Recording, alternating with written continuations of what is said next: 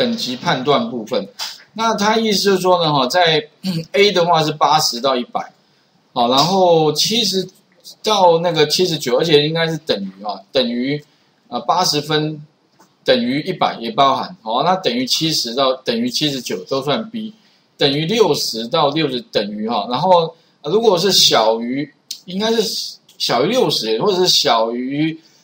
等于五十九都是 F，所以呢逻辑啊，因为之前有写过类似的啊，所以我们就大概来看一下。基本上哈，当然你可以第一种写法就是把 A 放中间，八十一百，哈，啊我有讲过有没有？另外一种写法就是你可以什么用 and 写法，啊 and 写法就 if，if 什么呢？诶，这个 A 哈，A 怎么样呢？小于等于小于该什么？小于等于一百。哦，and 或者诶，and and and a 什么大于等于八十，OK。那特别注意哦，这种写法跟这种写法两个都 OK。好，啊，看你要怎么写了哦，或者是说，诶，你这个放前面，这个放后面，结果一样吗？不一样吗？一不一样呢？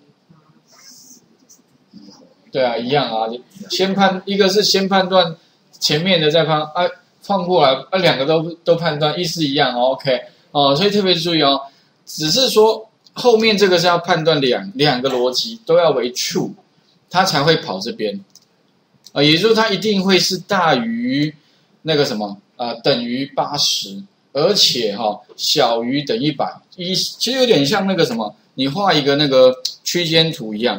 就是你要大于这个是八十是吧？这个是一百，那它一定是这个方向跟这个方向的重叠之处，有没有？就是所谓的 and 嘛，就是交相交交交集的部分。啊，如果另外哈上面这个方法也可以哦，不过看习惯了哈，我自己是习惯写这种方写写这种叙述，啊，有的同学习惯写上面没关系，反正两个都 OK。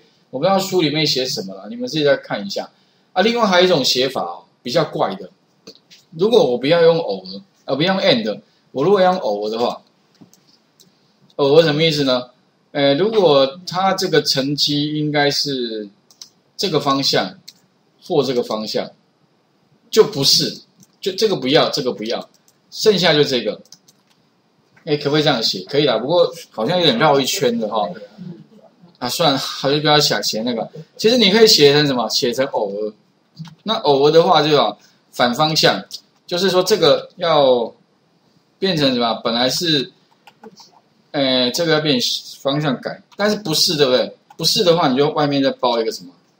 包一个 nut，应该知道意思吧？nut，就是里面的这个 不是，哎，对，所以我说算了，还是，所以我说 nut 很长，呃，很少用，有没有？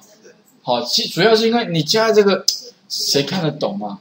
对，你倒不如因为。他一说不是这边，也不是这边，剩下就中间嘛。OK 哈，所以这个就逻辑叙述的问题，但是难免也会有那种工程师很喜欢钻牛角尖，就跟你写成这样子，那你就觉得奇怪，这是什么意思啊？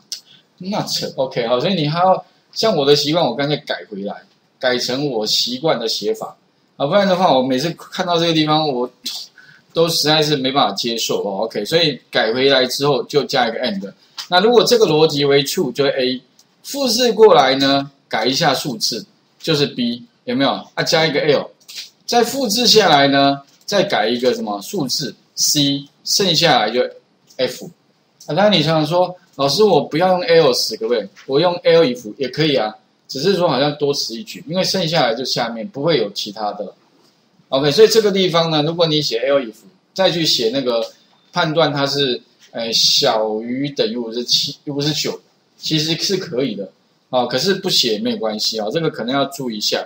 那另外，刚刚同学有问到一个，就是前一题，这边好像书里面会多写什么？多写个 ANS 等于零，对不对哈？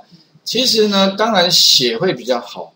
为什么？因为如果你没有这个意思，说我先把这个变数哈，先放放在哪里呢？放在全域的。所谓的全域就是说哈，哎，我们大家都整个整个这个模组都可以存取到的地方，但如果说你现在没有做这个动作，将来回圈会有个问题。回圈因为它是这个的下一阶，下一阶变成说这是在人家家里里面的资料，也就是在那个阶层底下就下一阶。所以如果 将来你要 print 它的时候，会有可能会什么？会发生错误，因为 print 是在全全域啊最前面的，啊，这个可能要注意一下啊。但这个地方其实不加也没有关系啊，加也可以啊。不过我建议还是加一下好了，比较相对比较没有问题啊。因为逻辑判断跟回圈将来都可能会遇到那个，哎，你变数啊，如果没有初始值在全域的时候，会抓不到资料的这种错误发生。OK 啊，好，那这里的话，请各位试一下那个第。二零六题啊，做那个成绩的判断，那尽量就是熟悉啊，用自己习惯的方式写啊。我自己是习惯用那个 and 的方式写，但如果你不习惯用 and 的话，你可以把它怎么样？把 A 放中间，那前后也可以做比较，哦，啊，当然看起来会比较精简啊。可是就是每个人习惯不一样，像之前有同学就是问我说，哎，那样的写可不可以？哦，可是就是说看你自己。的使用习惯啊，如果你不习惯，我建议，因为我比较习惯把这种语言当成像高阶语言，就是有点像是你直接就是在这个上面打一一串的呃这个这个叙述啊，跟这个电脑沟通了哦，所以大部分还是习惯用这种方式。好，那这一题的话哈，请各位就是试一下做那个这个二零六的这个等级判断好。那后面当然还有那个十进位判断哈，二零八好，如果做完的话可以再看一下二零八